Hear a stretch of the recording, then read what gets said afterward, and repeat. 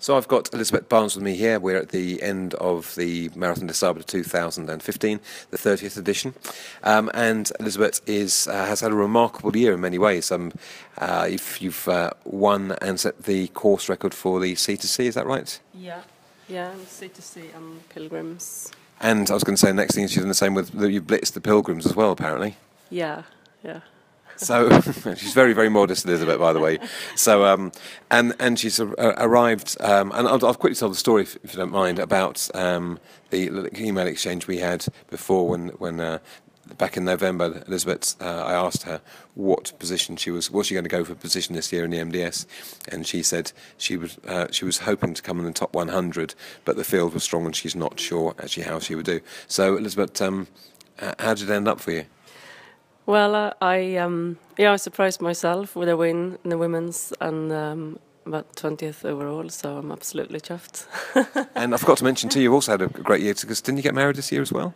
Um, I yeah, I got married last July. Yes, the last yeah. last 12 months. That's yeah, what I meant. So, uh, Colin says I now have a lighter surname, so he takes some credit.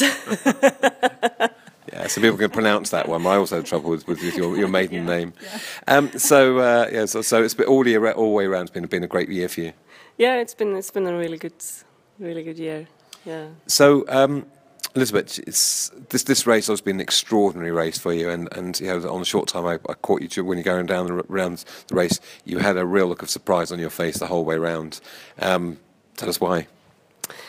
Um, I mean, I had I had done my preparations. Um, I did um, put some good training in, um, sort of from November to end of February, and then in March, which is too busy to really do anything. Um, but I did do 12 hours at Kingston University in the heat chamber and a little bit of training. So I guess I had quite a long taper. Um, I responded really well to the heat um, acclimation, so so that was that was good. Um, but um, I guess I just didn't really believe that I had done enough to do quite so well. Um, but the interesting thing about this race is, I think, um, a lot of things need to come together, and it's a totally different environment from from home.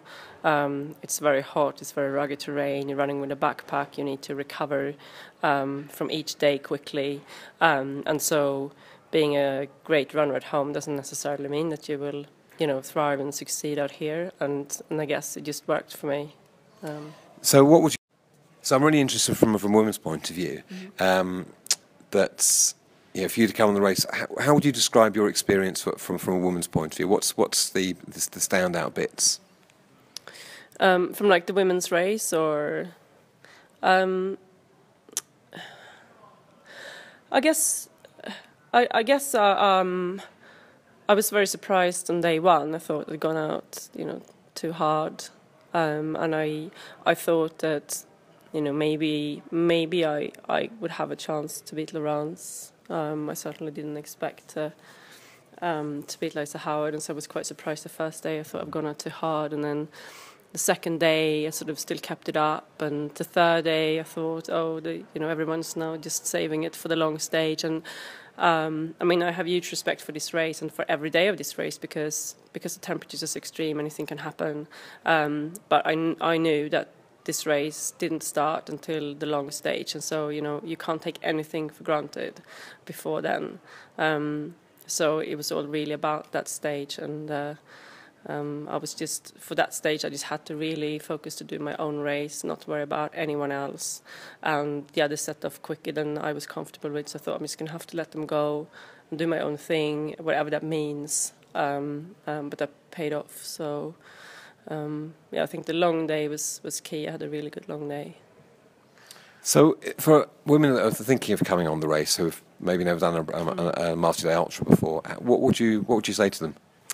I actually think this is um, this is probably quite a good race for women. I think women in general are um, good at coping with endurance, um, fairly good at coping with pain. Um, I think um, the main issue for women is confidence. Um, and you know, I guess I lacked confidence as well in the sense that I didn't think that I would do as well. But I, I never doubted that I would have, you know, a good week. I just didn't think it would be that good um, from a, the perspective of my position. But um, um, it, it's it's a fantastic experience. It's a great holiday. It's it's um, you know an adventure, and um, more women should do it. That sounds, sounds like really great advice. So, um, what would be the, the highlights for you during the race and, and the and the low points? Um, so highlights, I mean, so many. I had so much support out here. Um, it was absolutely incredible. Just um, when you're um, when you're one of the faster runners, I mean, during the long stage and the marathon, you start a couple of hours later, and so you pass um, a large portion of the field as you run, and the support was just um, unbelievable, and it was such a big boost to have that. Um, I mean, even the French were like shouting, like, "Oh, we love you," you know. um, so it, that was that was incredible, um, and I thought the course was really pretty this year um, very varied. Um, so I tried to enjoy the scenery as well. And um, on the marathon stage, we had um, we passed a big herd of camels and a really cute little baby camel, and I was like, wow, this is so so worth it just to see that. Um, and the camaraderie. I mean, everything. I think this race is unique in that respect. Like everyone just comes together and supports each other, and it's um, fantastic. low points. I mean, I the long stage, although it went well, was very hard. Um, the last few hours, it just felt like the sand was never ending. Um, when I finally crossed the finish line, um, I had given it my all. I was sick twice between the walking from the finish to the tent. I was in agony for a few hours. We had a storm, so the tent had blown down. Um, so I was just laying under that collapsed tent. I was in total agony, just moaning and groaning and swearing. And I was like, I'm never coming back again. Like, but then you know, next day you've forgotten all about it. So. Okay, so lastly. Um five words that describe the MDS for you, individual words that you would say describe the MDS? Um, you should have prepared me for this, Dave. Any words? Oh, um, well, it is hot, um, without a doubt.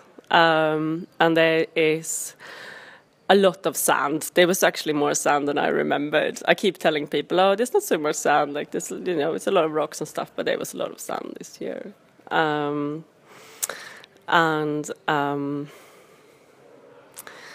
um, I guess happiness is um, there. Um, challenge, um, personal challenge. It's a personal challenge in many ways, and for many people, it's it is life changing. And uh, it's a beautiful race this year. Yeah. Okay, so thanks very much. Um, and I'll just say that Elizabet Ian, and uh, Colin, her husband, uh, run uh, myracekit.com. And uh, if you haven't been to see the website, go have a look.